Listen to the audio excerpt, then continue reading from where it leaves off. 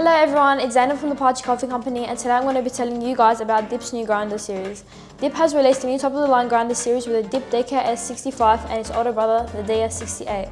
They are both full of features that rival other grinders in the market right now, but are they good enough in a cafe setting? Let's find out.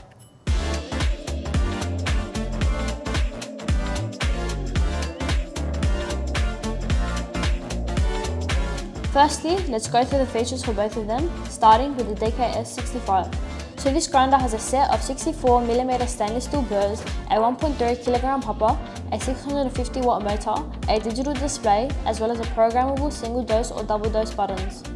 The KS68 on the other hand is much bigger and much more efficient, sporting 68mm burrs, a 1.3kg hopper, a 660 watt motor, a fan on the back to keep heat retention low, quiet grinding, as well as a lockable grinding adjustment system. Both grinders are quite easy to dial in. The 68 has the aforementioned locking grind adjustment, which means that it won't move around when grinding. They are both quite powerful, with the 68 shooting out 4.1 grams per second, which is quite impressive. In conclusion, Dip has hit a home run with these new grinders, specifically with the Dip DS68 elevating itself above all other grinders in its price range, easily becoming one of my favourites because of its ease of use and reliability alone.